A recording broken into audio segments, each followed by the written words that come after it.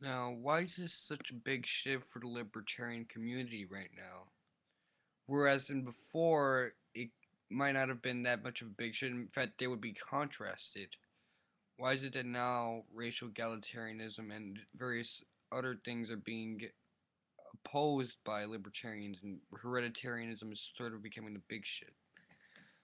Well, there's one theory I have for this, and it's a very simple theory, and it goes a little like this. Libertarians support any government where they would have a lot of liberties. They're advocates of liberty. And when you take that into account, there is one simple structure that you need to focus on. That's the structure of people just interacting, not institutionally. And that's society.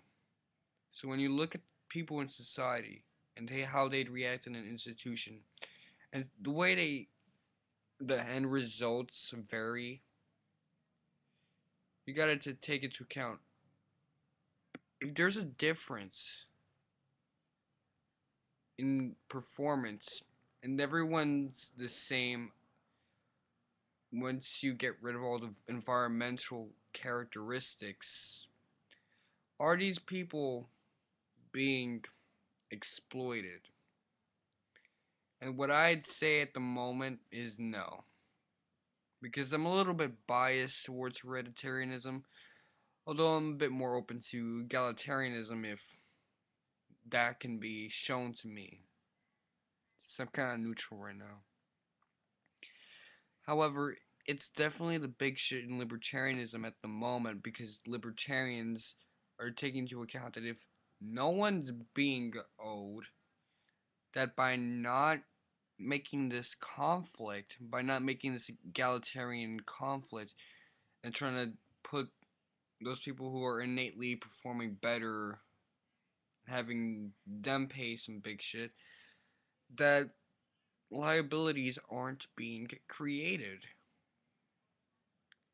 If it was the other way around, and there was was is a tremendous um, equality and egalitarianism in regards to different groups in society, once you get the environmental characteristics gone, then you can say that by not doing anything, that liabilities are being continually not paid for, that they're being sustained. And when liabilities are sustained, that's usually a big problem. So that's why these uh, conflicts are conflicts of society.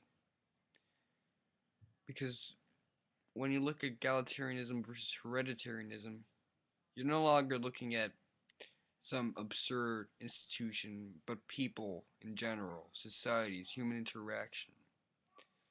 And how once you get rid of all these variables, is there something left? Is there still a disparity? Is there still a difference? And that's what I'm concerned for too because I'm such a big shit for libertarianism at the moment. Okay guys, so fuck you all. I'm finished.